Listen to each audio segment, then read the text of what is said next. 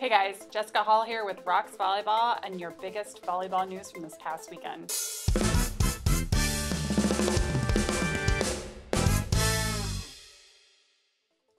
We'll start with an upset from the Big Ten Conference as the University of Michigan Wolverines took down the number 9 Penn State Nittany Lions. The Nittany Lions were the only undefeated team remaining left in Big Ten Conference play before the Wolverines took them down at home. The Wolverines were led offensively by Carly Skjodt with 27 kills, and defensively led by Tiffany Clark and Jenna Lerg with 20 digs apiece.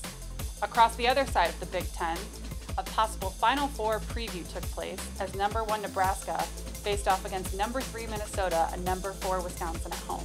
The Huskers took care of the Badgers Friday in three sets, while on Sunday the Gophers took them to a five-set battle. Nebraska's libero Justine Wong-Orantes set a new school record with 35 digs. With this big weekend for Nebraska, do you think they have truly earned the number one spot in the polls? Let us know by leaving a comment below. Make sure to get your weekly updates by Rox Volleyball by subscribing to our YouTube channel below.